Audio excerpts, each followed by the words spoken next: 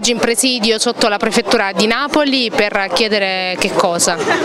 Per chiedere che finalmente possa essere fatta eh, giustizia non formale ma giustizia reale eh, per Marta, per Daniela e soprattutto per Ruben. Un atto formale del prefetto non può privare eh, a Ruben la felicità di, di essere cittadino italiano con entrambe le mamme.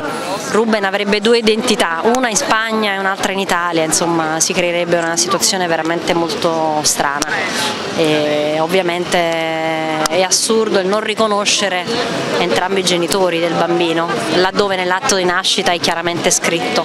Il prefetto vi ha ricevuto, voi oggi chiedevate al prefetto di essere ricevuti? Sì, il prefetto non ci ha ricevuto. Uh,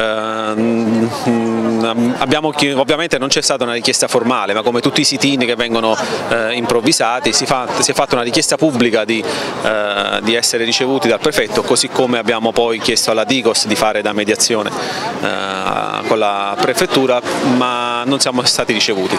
Per noi questo è un atto anche di grave scortesia, è un atto anche ehm, grave politicamente, perché forse il prefetto poteva anche non esserci, ma potevamo essere ricevuti eh, da qualcuno, da un funzionario che in qualche modo ci faceva poi presente che da qui a qualche giorno avremmo avuto un, regolare incontro con, eh, con il prefetto.